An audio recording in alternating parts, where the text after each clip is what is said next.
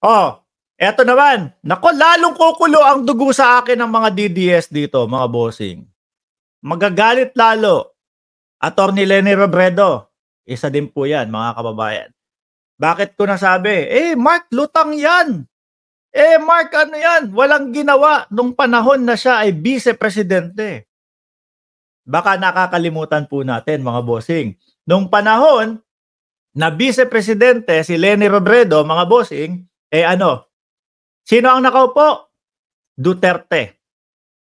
Ayaw niya sa mga dilawan. Ayaw niya sa mga kakamping.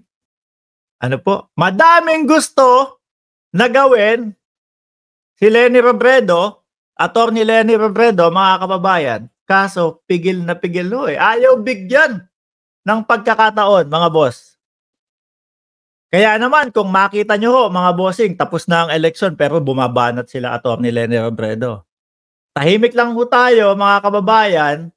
Ano? Tahimik lang tayo. Hindi natin masyadong pinapansin, nakapokus tayo. Pero sila, tuloy-tuloy lang ho doon.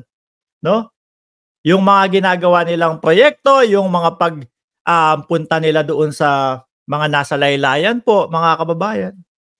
Kaya sabi ko, naisip ko, kailangan mabigyan ng pagkakataon ito Speaking of lutang, mga boss, hindi po lingid sa akalaman nating lahat, no? Na madami po sa atin yung nagsasabi, nako, eh, na ano tayo, nabudol tayo nung mama ah. Di ho ba? May mga ganun ho, mga kababayan, na narinig tayo. Hindi kaya na brainwash lang din tayo, no?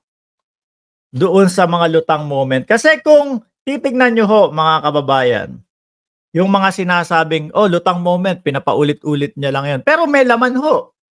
Yung kanyang mga sinasabi. Pero dahil nga po, ayaw natin sa kanila, nung mga panahon na yon ano? Dahil ho, ayaw natin sa kanila nung mga panahon na yon kumbaga para tayong meta pa oho eh. Nakaganyan lang tayo. Hindi pwede. Basta lutang yang sinabi ni Lenny. No, kasi pinapaulit-ulit. Oh, yan. Lutang yan si Lenny kasi pinapaulit-ulit.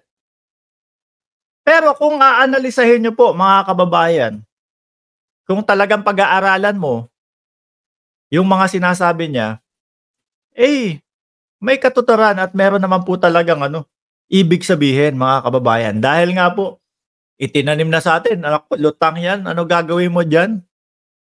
Di ho ba? So kaya sabi ko, naisip ko at nakikita ko dahil naman eto nagme-merge po ang kakamping at ang mga pula po, mga kababayan. 'Di ba? Dahil ho nagme-merge, mga kababayan. Bakit hindi bigyan ng pagkakataon din ho, mga kababayan?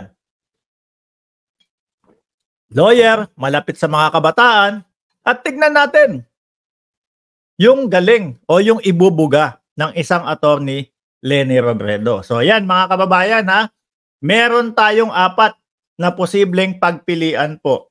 Or baka may iba pa, di ba? Pero ito po, yung apat na ibinigay po namin mga bossing, eh, pinagsama-sama po naming mga, ano tawag dito? Iniisip ng Team MR. Ayan. Lalo na si Boss Jordan. No? Sabi, Boss Mark, eh, mas lutang pa si Sara Duterte kaysa kay ano, kay Lenny. No, sabi ko wag kang ganyan. Gusto ko ipagtanggol si BP Sara kaso hindi ko humagawa. Mga bossing, mga DDS, pasensya na ho. Ang nakita ko lang talaga doon, habang humarap po, pasensya na ha, kayo, magagalit kayo sa akin. Lalo na yung mga ayaw kay BP Sara. Ang nakita ko, nung nasa press con siya, maganda si BP Sara. Ayan. Maganda si BP Sara. Ano po? Pero sabi ko nga ho, saglit lang, ayaw na naman palang magpatanong ni BP Sara. Pagkatapos nung press con, pagkatapos niya magsalita, eh, umalis na. Syukran, alisa na. Bawal nang magtanong. Ano po? So ulitin natin, pwedeng Gwyn Gatchal yan, maaari, no? Dahil konektado na sila dati pa lang with Department of Education. Pangalawa, um, sek, uh, si Clarita Carlos, mga kababayan, posible attorney Le, attorney Le, attorney Lenny Robredo at si First Lady Lisa Marcos. Nako, yung dalawa na yan, yung dito, dalawa, Le, uh, Lenny at Attorney Lisa Marcos. Diyos ko po Lord, kapag ka po yan ang naipalit mga kababayan, kung meron ho kayong mga kapitbahay na kagaya ni Knowles, ayan, Mendoza, no? Eh, kung may kapitbahay po kayong mga DDS na kagaya ni Knowles Mendoza, kapag ho inatake, mga bossing, eh, tulungan nyo po. Ihatid nyo sa pinakamalayong ospital po, mga kababayan. Idaan nyo doon sa hindi traffic na traffic na sobrang traffic. Ano po? anyway, mga kababayan, yan po muna ang ating pag-uusapan sa araw na ngayon uh, na ito. Sabi ni um, Leon Otnemal, Sara, beauty without brain. Beauty talaga. Para sa akin, maganda po talaga si BP Sara. Okay, maraming salamat. And God bless po sa ating lahat mga boss, Chief Amo Sir.